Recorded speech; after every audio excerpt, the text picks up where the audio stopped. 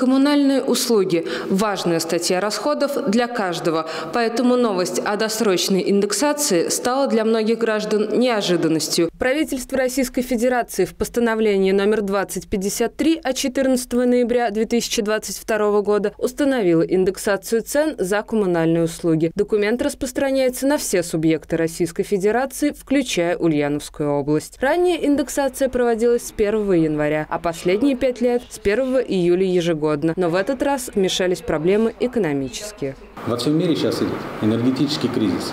Он за собой тянет и экономические проблемы.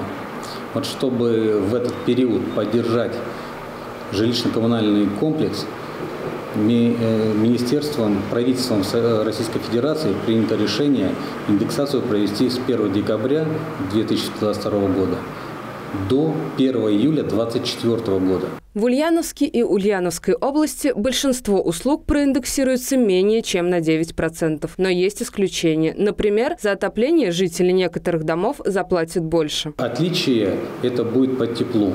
Угу. В городе тепло будет не более 11% повышения. Опять это связано, как я говорил, исключение есть. Дело в том, что город с 1 января 2020 года рассчитывается по альтернативной котельным методам. Поэтому здесь э, у них происходит разница небольшая. В области 9% на тепло. Для обычных жителей приятного здесь мало. Все-таки повышение коммуналки – еще один удар по кошельку. Что об этом думать? Только печально и грустно. И мало приветствуется, конечно, такое. Это и по России поднимает за тарифы, и в Ульяновской области. Да. Для простых людей это большой процент. Мы не вправе. Нам что сделать, то и выполняем. Что нам? Получили пенсию. Насколько хватит? Не хватит, значит, сидеть будем дома. Угу. Вот, ну что теперь делаешь? Ничего не сделаешь.